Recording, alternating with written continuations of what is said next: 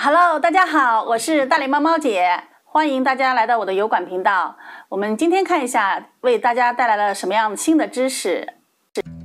B to B 平台是电商发展较早的一种模式，在国外用户看来有一定的认可度，所以 B to B 平台也成为了海外买家寻找供应商的第二种渠道。但是国际性的 B to B 平台的发展势头减缓，欧美发达国家也没有比较知名的 B to B 平台。发达国家已经退出向 B to C 发展，例如亚马逊和 eBay。搜索引擎，搜索引擎是国外用户寻找供应商最重要的手段之一，可以占到六成以上。国外主流搜索引擎包括谷歌、雅虎和必应等。而且通过主流 B to B 平台在谷歌上面投放广告的力度，也可以进一步说明搜索引擎作为买家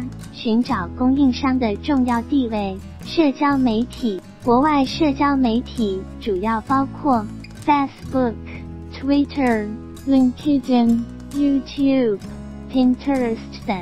其中，Facebook 脸书占据了社交媒体的半壁江山，全球拥有超过二十一亿的用户，市场份额超过百分之十八。所以，对于外贸行业也是比较常用推广方式之一。贸易展会，展会相对于以上三种方式来说，就比较传统一些，但也是最直接的一种推广方式。随着互联网时代的到来，使得线下推广的方式逐渐没落，展会的一些劣势渐渐暴露出来。加上外贸行业特殊的买卖双方的地域限制，线上推广逐渐占据了客户开发的主导地位。从某种程度上来说，Google、Bing、Yandex 等搜索引擎扮演着流量制造者的角色，吸引着全球网民的访问；而 B to B 平台则通过优化或付费广告，从搜索引擎导流，批发走部分流量，然后再转卖给 B to B 收费用户。作为外贸企业，在预算充足的前提下。可以同时投放搜索引擎和 B to B 平台推广，在预算有限的情况下，完全可以考虑绕过中间商 B to B 平台，直接选择搜索引擎推广。阿里巴巴也是 Google 的大客户，每年消耗大致在一千万人民币以上，而且他们也把在 Google 上做广告。作为他们的卖点之一，一外贸人对于 B to B 平台的抱怨，同行竞争大，排名很难靠前。B to B 国外宣传力度不够，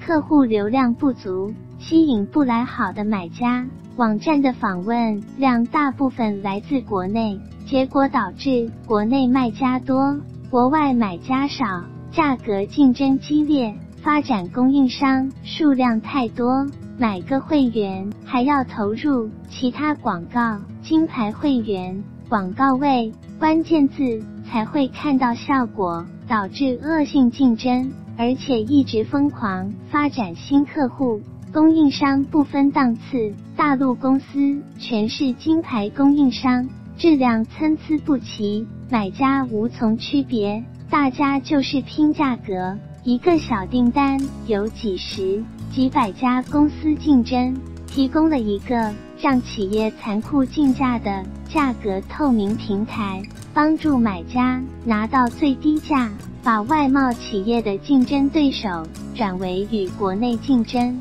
降低了外销客户的利润，阻碍了企业的高速发展。买家发出的询盘很多，不是直接发到卖家手里。而是通过系统群发，同行都会收到回复后，几乎都是石沉大海。各种垃圾广告信息倒也不少。二，现中国出口企业面临 Google 推广常出现的问题：企业官网质量不高，凸显在产品介绍内容质量不高，网站风格不适合国外人浏览，网站不具备 SEO 的功能，自然排名，广告质量太低，打开速度太慢，浏览器兼容性不好等，导致用户体验不高，吸引不到国外买家的兴趣与信任。公司缺乏专业的推广人员，对广告资源的配比、